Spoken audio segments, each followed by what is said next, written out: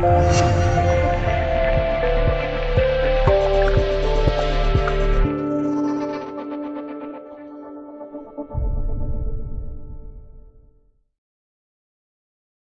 到弹丸之地一词，这里的弹丸就是子弹的雏形。在中国四大发明中的火药出现后，大约在宋朝，我国就已经出现了单纯填充火药喷射的枪。后期随着军事家的研究，在火枪中填充上铁渣、瓷末，增强杀伤力。这是在我国诞生的最早的枪弹。枪弹问世后，随着战争的发展，对枪的射程和射击准确度也要求越来越高。枪弹也从最开始的圆形弹丸，变成了贝恩格斯称为现代步枪之父的法国人德尔文发明的长形弹丸，这也是近现代子弹的雏形。进入二十世纪以后，子弹形状、弹头不断改进，形成了现代枪弹，如普通弹、夜光弹、燃烧弹、穿甲燃烧弹、顺爆弹、空投弹等。花生仁大小的枪子儿就能要人命。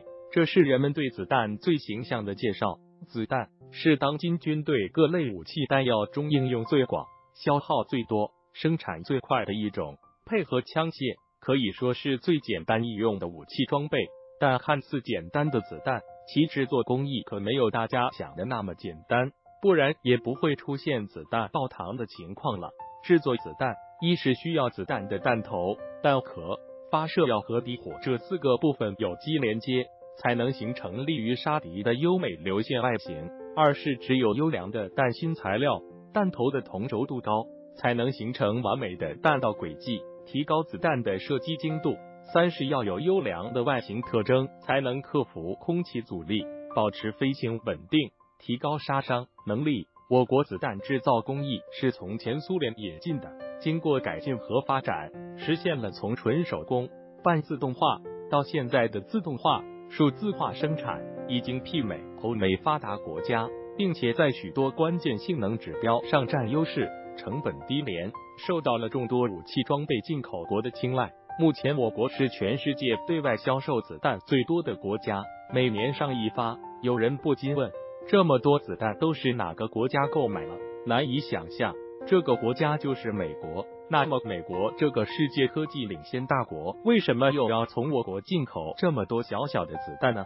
据有关分析认为，美军在世界范围内广泛驻军，其有一百四十万军队，每年训练平均每人消耗一千一百发子弹，仅仅军队的消耗量就高达十五亿发左右。况且，美国国内允许私人枪械持有数达到一亿，民间消耗量也极大。而每年多达十数亿的消耗量是什么概念呢？要知道，中国八年抗战才消耗了十几亿的子弹，美国一年消耗的量就如此之大。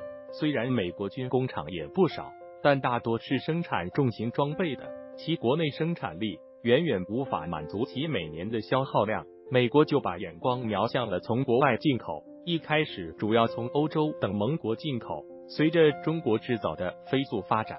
美方就越来越看好中国制造的子弹，开始从中国进口。中国制造的子弹，无论是在质量上还是价格上，在世界范围内都是有口皆碑的。我国出口的主要是七点六二毫米步枪子弹和九毫米手枪弹。九毫米手枪子弹是符合北约手枪口径标准的，而美国部队大多使用的是从我国进口的五十六式冲锋枪、五十六式半自动步枪。五十四式手枪和八十一式步枪及前苏联的 AK 四七，相较于美国生产的子弹，中国子弹价格只有美国的三分之二，又可以稳定的从中国进口，因此中国生产的子弹颇受美国欢迎。